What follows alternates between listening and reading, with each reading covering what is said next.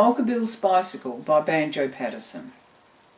'Twas Mulga Bill from Eaglehawk that caught the cycling craze. He turned away the good old horse that served him many days.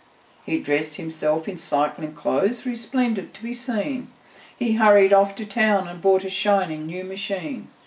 And as he wheeled it through the door with air of lordly pride, the grinning shop assistant said, Excuse me, can you ride? See here, young man, says Mulga Bill, from Walgett to the sea. From Conroy's Gap to Castlereagh, there's none can ride like me. I'm good all round at everything, as everybody knows. Although I'm not the one to talk, I hate a man that blows. But riding is my special gift, my chiefest sole delight. Just ask a wild duck can it swim, a wild cat can it fight. There's nothing clothed in hair or hide or built of flesh or steel there's nothing walks or jumps or runs on axle, hoof or wheel, but what I'll sit while hide will hold and girth and strap are tight. I'll ride this here two-wheel concern straightway at sight.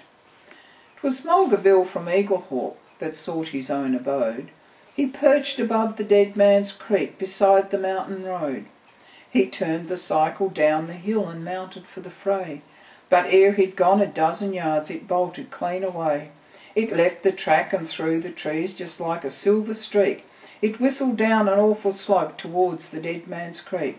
It shaved a stump by half an inch, it dodged a big white box. The very wallaroos in fright went scrambling up the rocks. The wombats hiding in their cave dug deeper underground. As Mulga Bill, as white as chalk, sat tight to every bound. It struck a stone and gave a spring that cleared a fallen tree. It raced beside a precipice as close as close could be. And then as Mulga Bill let out one last despairing shriek, it made a leap of twenty feet into the dead man's creek. 'Twas Mulga Bill from Eaglehawk that slowly swam ashore.